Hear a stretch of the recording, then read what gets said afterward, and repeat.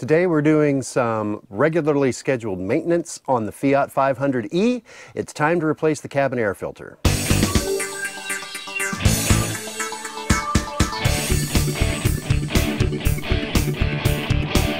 EVs are easy maintenance, but not maintenance free, and we're coming up on one of our maintenance benchmarks with our Fiat 500e. We're coming up on 40,000 miles. Uh, it was 28,000 miles when we got this car. And so, uh, according to the Fiat owner's manual, see if I can get that into the shot, uh, at every 20,000 miles, you're supposed to replace the cabin air filter, and that's right here on the maintenance uh, calendar.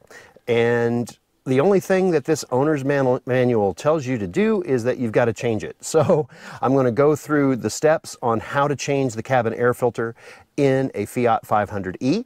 Uh, and we're going to start right where I'm at on the passenger side of the car. Everything that we're working on is in the passenger side footwell and the cabin air filter itself is right behind here, but means we've got to get this panel off and this panel has a Torx screw right here. We have our handy dandy multi-purpose screwdriver with all the bits, and I have in there uh, the biggest Torx bit that this one had, which is stamped as a T20. It is a little small for this, but it fits just perfectly. So actually, I'm not gonna say it's a little small. It's the right size. So it's stamped as a Torx T20, so I'm gonna say that's the size bit that you need. And we just unscrew this, yeah. So pop it up front, pop there, pop there, and out comes the panel. Anything that is orange, don't touch. This is the cabin air filter right here, uh, and which means that this panel is going to have to come out. So that's the next step, is this panel right underneath the glove box. Now this panel uh, has these little pop clips, that's what I call them, uh, in it. Uh, one of them is right here by my index finger. The other one is very clearly on screen right here. And there's another screw that's supposed to go there, but in our car it's missing, so eh. So I'm gonna pop these out. There's a proper tool for this, and I have one, but I don't know where it is. So I'm just gonna be using a flathead uh, screwdriver to pop these out. It's kind of get it in there and work my way around.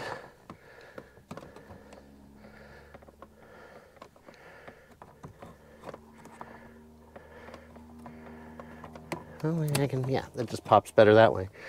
So, here again. There we go. And now that's popped out.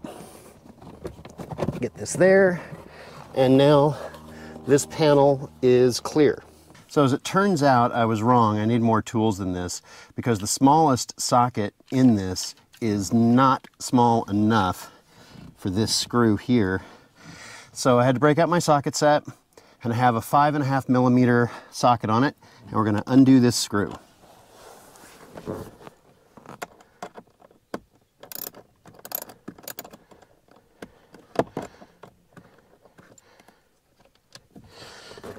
After we take out that screw, there's another one right here. Should be able to come off with the same socket. There we go. And now that's out. Now we're ready to take out the air filter. My fingers are a little too small to get in there, so I'm going to use this uh, flathead to help me out. I'm going to come in under it, and then I can grab it. Move the cables out of the way and oh, it's dirty. I wouldn't be surprised if this wasn't replaced at 20,000 miles either. But that's the old air filter out. So don't be like me. I uh, had to check uh, my video to see which direction this airflow arrow is pointing. The airflow arrow points towards the passenger compartment. So on the new air filter, we're going to line that up so that the, uh, get this into the camera, so that the airflow is pointing into the cabin. When it goes in, uh, based on how it came out, the slats are going to be horizontal. So uh, then we'll just put it in. So I gotta get it in here and get these cables up out of the way.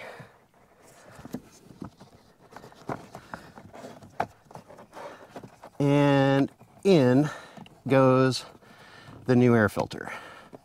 That is, new cabin air filter is installed. So now we just do everything in reverse. We need to start by putting this back on. And we'll put this in there and line it up. It's got these little uh, grommets that it uh, holds onto, and then from there, should just be able to get the screws started by hand and then tighten it up with the wrench. I'm going to recommend not using a socket for this. The nut driver is a hundred times easier to do, especially since I am not left-handed. There we go, now that's secure. Next thing we gotta put this panel back on. We'll line this up here, there we go.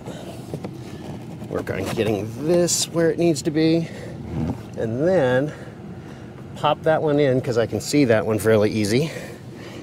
And then this one should be right where it's supposed to be and it is. And that's back in.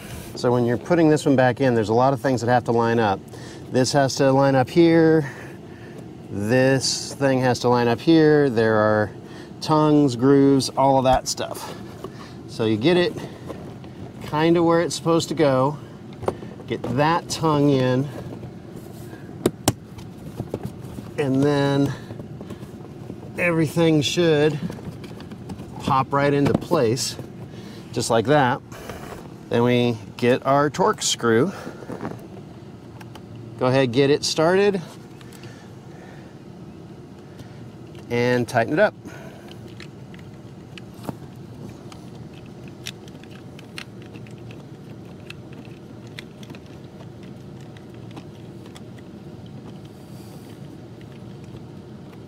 And that is what it takes to change the cabin air filter on a Fiat 500e.